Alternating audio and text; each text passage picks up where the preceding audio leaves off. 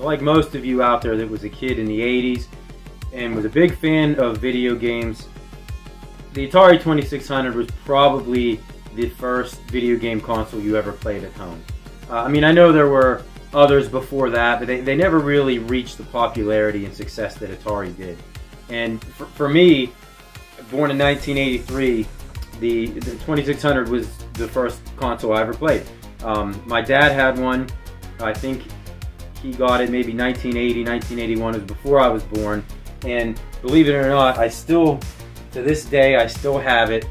It was the old black Vader system that they called it Vader because it's all black. And if you know anything about the original release of the Atari, it the original release they called it the Big Sixer because it was, uh, as you notice, the Vader had four switches. The Big Sixer had six switches. They, they each switch did different things, and the um, the original Ataris had the the wood grain finish around the outside because for some reason in the 70s everything wanted to be wood finished. I mean TVs were built into a wooden frame for some unknown reason. That's just how they did it. But anyways, um, that Atari still works. The controllers and everything that I have with it, I still have all my original stuff, all my dad's original stuff. So I have a, a, a soft spot and a lot of nostalgia for the original Atari 2600. And when I saw that this thing came out, I said to myself, I, really don't need it because if I really wanted to, I could play that Atari. But if you guys know anything about old consoles, which I'm sure you do, they're very temperamental. They don't like to cooperate most of the time, and even if you get the thing running, and especially like on a on a 4K TV, it just doesn't seem right if you are able to even get it running, you have to clean the games out, you know, and then a slight breeze comes through the room and, and the game flashes. So most of the time I play Atari, I play it on, like everybody else, on an emulator. I mean, the Atari 2600 was my introduction to arcade classics like Donkey Kong, Pac-Man. You know, unfortunately, those are both uh, pretty notoriously bad ports. But as a kid in the mid 80s, I, I didn't go to arcades at all. So, you know, Pac Man was one of the games we had as a kid. Donkey Kong, uh, my buddy had. But as a lot of people, those were my introduction to a lot of these great arcade games. Now, don't get me wrong, the Atari has some fantastic games on it as well, like Pitfall, River Raid, uh, Starmaster is one of my absolute favorites. I mean, Activision had a ton of great games. Yeah, you get games like E.T. And, and, and things like that that kind of give the system a bad reputation. And, and even with its limitations, and Atari was very, very limited, especially looking back, it still had a lot of good games on it. So when I saw this, I figured, you know what, why not just pull the trigger on it? Let, let it, I'm to play my original games on original hardware. It plays 7800 games as well, and I know that Atari 7800 just was released, the 7800 Plus. And I had to make a decision because I already own the, the 2600 in its full console. I never owned the 7800 and I always wanted one. And not only did I buy this, but I also bought set of paddle controllers that go into this because my paddle controllers do not function anymore. This also comes with a bonus game. Comes with four games, Breakout, Canyon Bomber, Night Driver, and Video Olympics. But it's cool because it does come with a game. So it gives you the incentive to buy this. Along with the Atari console itself comes with a uh, another game, a 10-in-1 cartridge on it. So if you want to buy these things and you don't have a collection of Atari cartridges and you want to play original hardware style as opposed to just emulating it, these things come with two games. This was an extra $30. And the 10 games that come in the uh, 2600 Plus, Adventure, Combat, which was a pack-in game, Dodge 'em, Haunted House, which is a fantastic game, Maze Craze, Missile Command, Real Sports Volleyball, Surround, Video Pinball, and Yars' Revenge.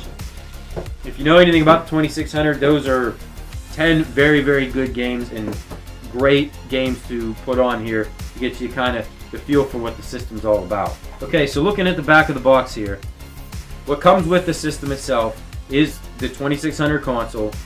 Comes with one joystick, you know, the uh, the Atari joystick, the one, the famous one-button joystick, comes with a 10-in-1 cartridge, comes with an HDMI cable, makes it easy to plug in to your TV, and it comes with a USB power cable, which makes it easy to plug in. As opposed to, you know, if you're playing the original system, you know how these things are. You got to get all sorts of adapters and everything just to be able to hook them up getting them to play on a HD TV is, is uh, it's kind of a pain. So we're gonna open this thing up. We're gonna take a look at it, compare it to the original, and then I'm gonna hook it up and we're gonna try it out. So the first thing I notice here about this, and you could easily tell from the box, it's very, very small. I mean, it is three quarters of the size of the original. And like I said, obviously that was, you could tell that just by looking at the box itself.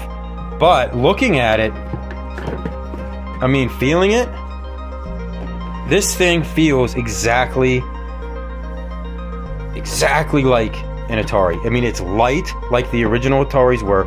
It's got that textured feel all over it. Like it's not smooth plastic like the original Ataris weren't. They're rough. Yeah, I mean the switches and everything, they're all the same size. Look at that. I mean, TV type, color, black and white. You got your power switch.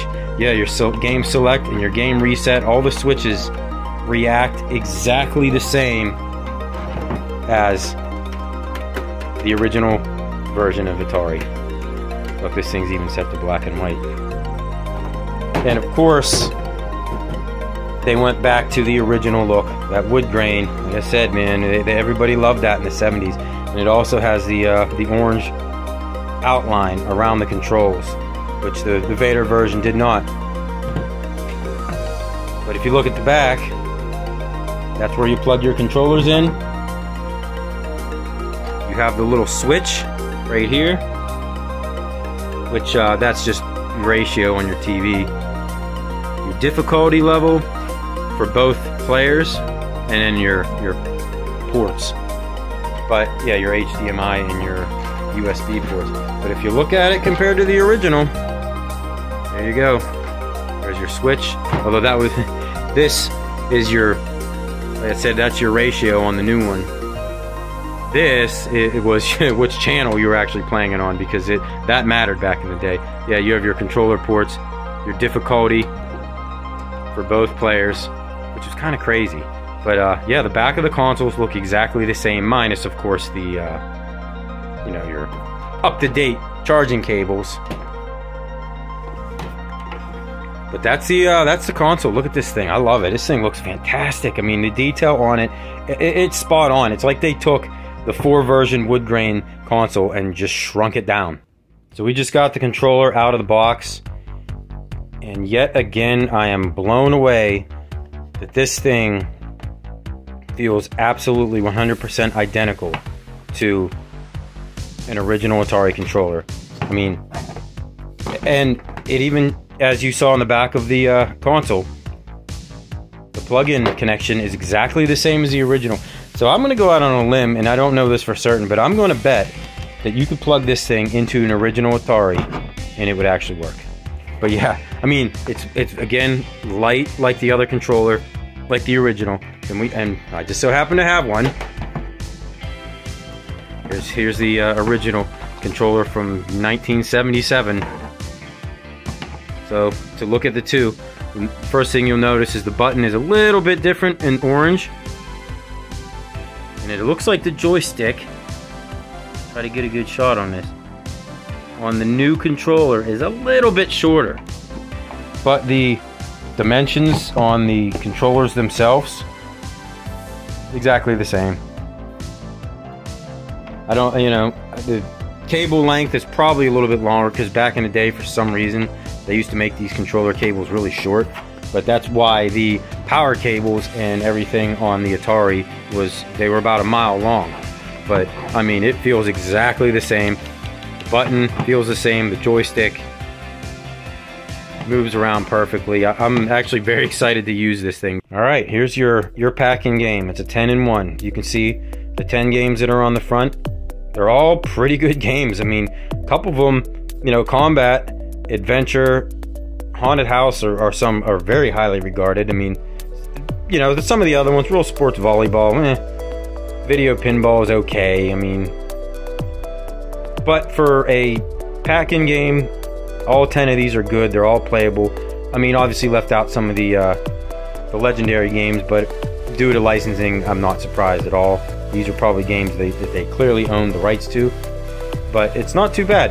And you can see each one of these games has a different pattern that you put in. And on the back of the cartridge itself, it, ha- it has this little these little dip switches right here that uh, you obviously put in a specific order to play whichever game you want. So, yeah, the game itself. Mean, it's look at that. It's even got the little card in there. I mean, this thing is exact to a uh, an Atari 2600 cartridge. Again, it even has that rough feel to it. The only only difference is the dip switches on the back, but yeah, got the end label. I mean, the shape, the weight, everything about it. You know, it's got the little pins inside there to keep it into the system. Yeah, it's uh, if you didn't know any better, you would think this was an official Atari game. So the last thing we're going to look at here before we get into a little bit of a demo, at, before I hook this thing up and see how it plays, is the the add-on paddle controllers that I bought. That again comes with an additional cartridge. But I'm going to look at the, uh, we're going to check the controllers out and see how they stack up to the originals. Well, here they are. There's your paddle controllers. It feels, again, like everything. I keep repeating myself, but it feels exactly the same as an original paddle controller. And if you ever held one in your hand, they're extremely light, very cheap.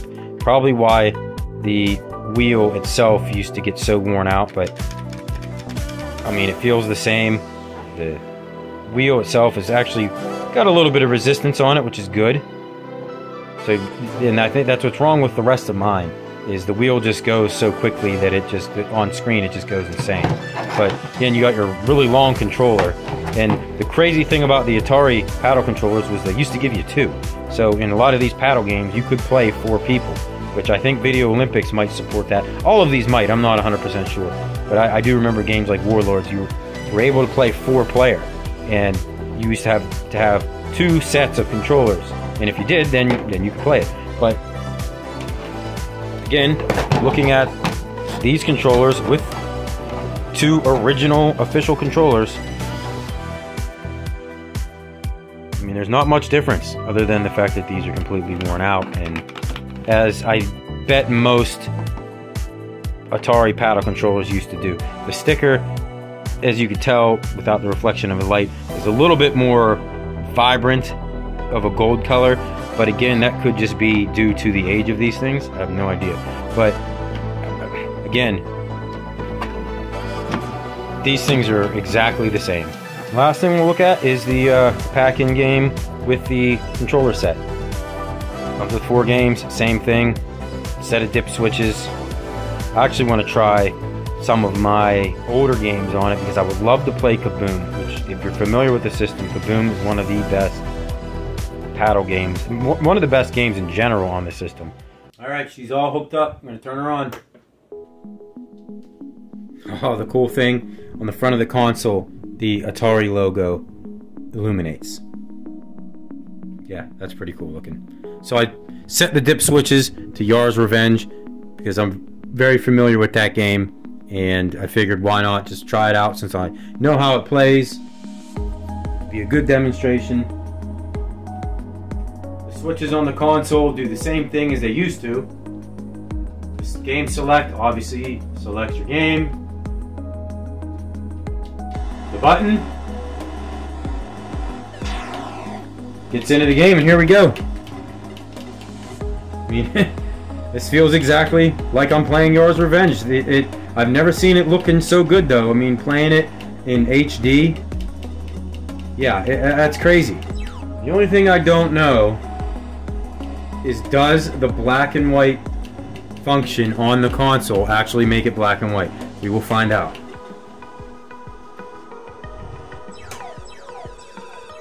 No, it does not. But either way, it plays great. The controller feels awesome. It looks amazing. Even a very simple 2600 game in HD looks great. Looks far better than it did when I had my original console plugged in. So we're to try out one of the paddle games and then we'll wrap it up. All right, I got Night Driver hooked in here. I've never played it. Figured it'd be pretty cool to try out. And on first look, again, in HD, it looks great. And here we go. Oh man. Paddle handles very well. The game, my god, it's so hard to see what's going on. And in typical fashion, you get a crazy Atari explosion. Wow. It's not easy. But I guess you have as many tries as you want until you run out of time. I think it just crashed right into that house. I noticed the cool thing about this, and maybe it does work on some of the games. Black and white function works. So how freaking sweet is that? Some of you guys might be going, why would you want to play it in black and white? Well, that's how a lot of us used to play it back then on little black and white TVs. So, I just wanted to try that out. We're going to wrap this thing up. Uh, to wrap this thing up, I'll, I'll keep it kind of short. The nostalgia factor on this thing just hits you like a ton of bricks when you start playing it. I mean, just the feel, the look of everything is so spot on. Uh, I mean, for me, like I said, 200 bucks for the bundle. It was worth every penny. I um, I, I paid for it myself. You know, I, it just wasn't given to me for review or anything like that. But so you know that my opinion is is actually honest because if the thing sucked and it wasn't worth the money, then I would have absolutely have said so. You know, how well will it hold up over time? Who knows? Um, it's probably not going to get a ton of play, like the old one used to because I have so many other ways to play games and so many other games to play where back then that original console you had was pretty much all you had plus you know maybe the five six games if you were fortunate to have that many. Um, but anyways yeah I'm, I, I really really enjoy this thing. I think I'm gonna have a lot of fun with it. I would recommend this to anybody. I would also recommend getting this if you are making the purchase. It's absolutely worth the extra $30 because you get the paddles you get the extra four games um, I did try my original hardware games on it. They work perfectly fine as it's advertised. The original controllers plug into this thing. They work. So if you have any of that kind of stuff, it works perfectly with this thing. As do if you have 7800 games. They also work in this. Um, the reason I bought this over the 7800 was just the pure nostalgia of the 2600 and, and how iconic it is and its place in video game history. I know the 7800 didn't ever really take off. Atari kind of peaked with this system. The 5200 to 7800 really didn't meet expectations or sell nearly as well as this. I mean, obviously you had a lot of competitors out there at that point. But anyways, if you're looking for a great retro system to play and you want to play on, on like I keep saying, original hardware, I mean, this is about as real as it gets unless you go out and buy the original, but this thing plugs right into your TV with an HDMI cable. The picture looks fantastic. The sound is fantastic. It's so much easier to hook up. Every, everything about it feels great, feels original, and I am 100% sold on this thing. And would, like I said, would recommend it to anybody. So thank you everybody for watching. And if you have any questions, if you want to know any more about this thing, anything I may have missed, leave it in the comments below, and I definitely will answer you because I do reply to every single comment, even if they're bad. But I do try to respond to everybody. So if you have a question, it will definitely, definitely get answered. So thank you everybody for watching and check out some of my other videos if you like this kind of stuff. I'm all about retro, video games, arcade games, cartoons, movies, you name it. I, I do it all. So consider subscribing, like the video, and I will make more stuff like this as I get it. And thank you, everybody, and we will see you next time.